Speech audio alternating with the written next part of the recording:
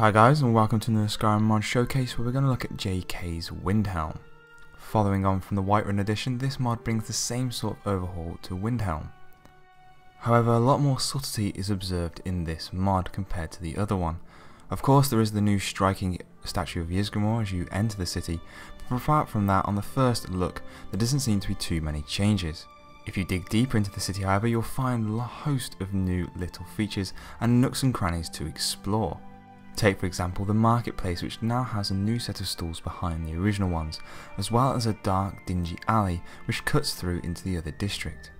Overall the mod adds just enough new features to make Windhelm seem more alive, without overcrowding the city. There was also a much needed complexity added from what you would expect in a major city in Skyrim. In terms of performance you will notice quite a drop in some areas across the city, my lowest drop was to about 35 frames per second and this was observed in the marketplace around 2 o'clock in the afternoon and it seemed to be the most busiest time. However, with an average frame rate of 50 frames per second, this is definitely a mod you should add to your load order, especially if you're looking for something to spruce up Windhelm and make it seem more like a major city without overcrowding the area with unnecessary features.